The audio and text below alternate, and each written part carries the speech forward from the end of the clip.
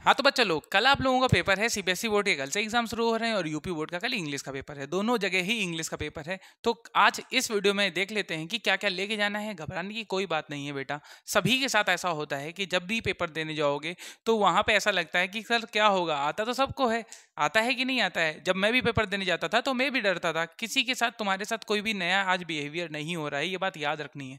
जब भी पेपर देने जाओगे तो ये घबराहट होती है। पेपर के पहले ऐसा लगता ही लगता है, कोई नई चीज़ नहीं है। चलिए देखते हैं कि कैसे हम लोग को कल का दिन मैनेज करना है। सबसे पहले है अपना कि report to the exam center जब जितने बजे भी आपका पेपर है जो भी आपके पास लिखा है, साढ़े दस से पेपर है तो दस बजे तक मतलब थर्टी मिनट बिफोर आप एग्ज़ाम सेंटर पहुँच जाएँ आराम से और वहाँ पे जो जो चीज़ें चल रही है उस पर आप आराम से भाग ले सकते हैं। अब हम लोग के साथ ह्यूमन टेंडेंसी क्या होती है कि दस बजे लिखा है तो दस ही बजे पहुँचना है। ऐसा होती है ना, लेकिन ऐसा नहीं, एग्ज़ाम में क्या करना है थोड़ी सी हम लोग को अलर्ट रहना है कि थर्टी मिनट पहले हम लोग पहुँच जाएँ, ठीक है?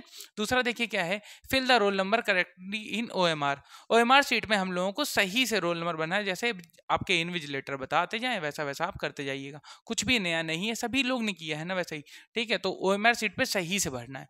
तो पेन में हम लोग ब्लू पेन और ब्लैक पेन ले जा सकते हैं। सीबीएसई तो कहती है कि ब्लू पेन आपको लेके आना है ओ सीट ब्लू पेन से फिल करनी है, लेकिन दोनों पेन आपको ले जाने पड़ेंगे क्योंकि बाद में करना भी तो रहेगा। तो ब्लू और ब्लैक पेन ही केवल यूज़ करेंगे और कोई पेन नहीं यूज़ करेंगे, ठीक है, कलर का।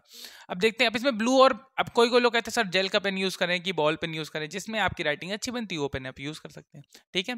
टूल्स, और कौन सा टूल्स ले सकते हैं? पेंसिल ले जाइए, इरेजर ले जाइए, स्केल ले जाइए, शार्पनर ले जाइए, इन सब का काम पड़ेगा वहाँ पे, ठीक है। जैसे आपको कुछ भी करना है Okay कोई भी चीज़ किसी से मांग तो सकते नहीं है तो अपनी खुद की लेके जाइए, ठीक है? नेक्स्ट ओरिजिनल एडमिट कार्ड और आईडी कार्ड जो आपका स्कूल की आईडी है, उसको ले जानी है और साथ में जो भी आपका प्रवेश पत्र एडमिट कार्ड आया है, उसको भी साथ में ले जाना है, ठीक है? ओरिजिनल उसके बाद यूनिफॉर्म कंपलसरी और रेगुलर स्टूडेंट जितने भी रेगुलर स्टूडेंट हैं, उनके लिए यूनिफॉर्म में ज़रूर जाइए, ठीक है? अगर आपने प्राइवेट फॉर्म भी भरा है तो सिविल ड्रेस में जाइए ठीक है? उसके बाद कन्फ्यूज़न इन क्वेश्चन अगर किसी क्वेश्चन में आपको कन्फ्यूज़न है कि ये क्वेश्चन आपको ऐसा लग रहा है कि गलत दिया गया है या इसका ये आंसर नहीं मैच कर रहा है तो आपको उसको अटैम्प ज़रूर करना है। याद रखना है, या ले ये आपको जब तक अटैम्प्ट नहीं करोगे, तब तक सीबीएसई e मानती नहीं कि आपने क्वेश्चन, आपको उसके नंबर नहीं मिलेंगे। समझ रहे हो कि नहीं? जो बोनस मार्क्स मिलेगा, वो जब जिसने जिसने अटैम्प्ट किया होगा, केवल उसी को मिलेगा, अगर क्वेश्चन गलत होता है कल को, ठीक है? तो अटेम्प्ट ज़रूर करिएगा, अगर वो गलत है क्वेश्चन, आपको ऐसा लग रहा है कि गलत है क्वेश्चन। नेक्स्ट देखते हैं जो अपना एट्थ पॉइंट है करेक्ट वन क्वेश्चन सेट। जो भी आपको इन्विजिलेटर ने सेट बांटा है, वही आपको मेंशन करना है। उसके सिवा दूसरे का ना मेंशन कर देना, नहीं तो आप एग्ज़ाम से रिजेक्ट कर दिए होगे, क्योंकि जो जो आपका एग्ज़ाम की कॉपी चेक करता है, उसको वही सेट दिया जाता है, ठीक है? नेक्स्ट देखते हैं do not spend too much time on one question या सेक्शन किसी भी एक सेक्शन में ज़्यादा समय देने की ज़रूरत नहीं है। सबसे पहली बात तो एनालॉग वॉच पहन की जानी है, जिसमें सुई वाली घड़ी जिसको बोलते हैं हम लोग, वो घड़ी ही केवल वैलिड होगी। स्मार्ट वॉच और कोई भी डिजिटल वॉच नहीं वैलिड होगी तो वो वॉच पहन के जाइए ताकि आपको टाइम आराम से दे पाए किसी सेक्शन में। और किसी भी एक क्वेश्चन पे या सेक्शन को ज़्यादा समय देने की ज़रूरत नहीं है। आपने जो आपने मॉक टेस्ट लगा रखे हैं, जितने प्रैक्टिस सेट किए हैं, उसमें आपने देख लिया होगा कि हम एक ए, बी, सी तीनों को कितना कितना सेक्शन दें कितना कितना समय दें, वैसे ही सेम आपको एग्ज़ाम में करना है, कुछ भी नया नहीं करना है, ठीक है? ज़्यादा किसी को भी ज़्यादा समय मत देना, नहीं तो दूसरा सेक्शन के लिए कम समय रहेगा, ओके? नेक्स्ट फ्री एडवाइस क्या है? कि जो भी कुछ भी बच्चे ऐसे हैं कि वो ये सोचते कि कैसे कहीं असर हमसे गलती हो गई तो हम क्या लिख दें? अब कहीं लिखना था बॉयल आपने लिख दिया स्पॉइल ठीक है? तो स्पॉइल लिख दिया, आप कैसे इसको काटोगे बताओ? तो सिंगल लाइन काटो बस। एक लाइन काट दो, खत्म। गलतियाँ तो सबसे होती है ना human we are humans not robots ठीक है रोबोट से गलतियाँ नहीं होती हैं, लेकिन ह्यूमन से तो होती है ना।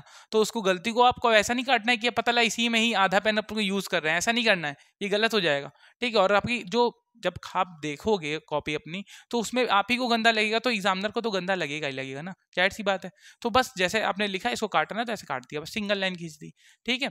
और ज़्यादा कुछ भी नहीं करना है, किसी के बारे में सोचना नहीं है कि सामने वाला हमसे ज़्यादा कर रहा है। पता लगा उसने बी कॉपी मांगी है तो आप सोच रहे हो मेरा नहीं हो रहा है, इसने बी कॉपी कैसे मांग ली है?